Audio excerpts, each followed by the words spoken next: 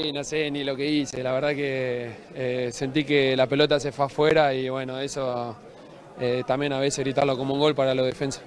¿Qué significa para ustedes el capitán partido número 1000? Eh, decirle algo, me imagino que es un homenaje dentro de la cancha lo que hicieron.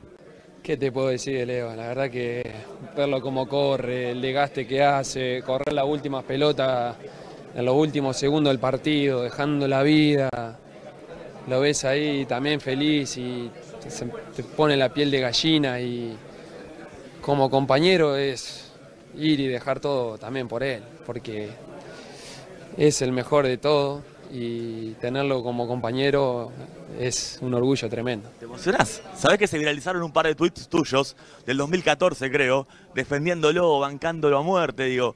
Eh, ¿Genera eso emoción en ustedes? Que, lo vieron de chiquito jugar en la selección, obviamente, y son compañeros. Y sí, te genera una, emoción terrible porque se te vienen muchos momentos. Y, la verdad, como te digo, tenerlo del, mismo grupo es, eh, es emocionante y la verdad que me pone muy feliz por él, por todo lo que se ha bancado y por lo que, por lo que sigue, ¿no? Quiere todo para la selección y la verdad que para nosotros que estamos ahí vamos a hacer todo por él. Te hago la última, te libero. Eh, lo de la gente al final, ustedes cantando con ellos, digo, eh, recién Scaloni en la, conferencia decía, solo lo, entienden los jugadores que estábamos ahí, nosotros mirándolos cara a cara, eh, sintiendo que hay un país atrás.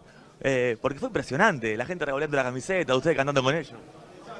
Eso es amor, eso es amor del puro, no es algo que, es forzado, sale en el momento. Si vos me decís que programamos eso con la gente, es mentira. Y eso es eh, amor del puro. ¿Es verdad que Dibu dijo, somos locales otra vez? Y hoy se sintió, sí, mucha gente argentina, la verdad que fue terrible. Completame la frase. Muchacho. Ahora le volví a ilusionar.